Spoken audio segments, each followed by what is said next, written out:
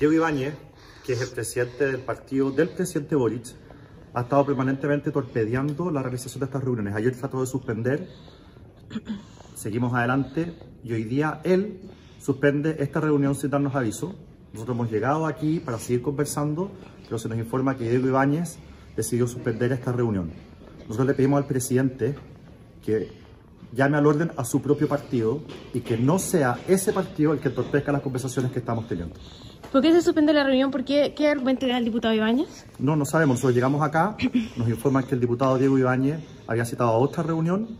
Eh, el presidente del Senado nos dice que a instancias de él se suspendió y, y nosotros lamentablemente no entendemos por qué se nota este trato de circunstancias que hemos tenido las mejores intenciones y disposición para conversar.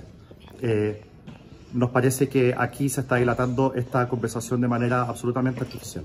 ¿Esto va a entorpecer o va a perjudicar las conversaciones por el acuerdo? Nosotros seguimos abiertos a tener un acuerdo, a llegar a algo que sea bueno para Chile, en los plazos que sean más cortos posibles, eh, pero la verdad es que hemos avanzado muy poco en las últimas dos semanas y eso no ha sido responsabilidad nuestra.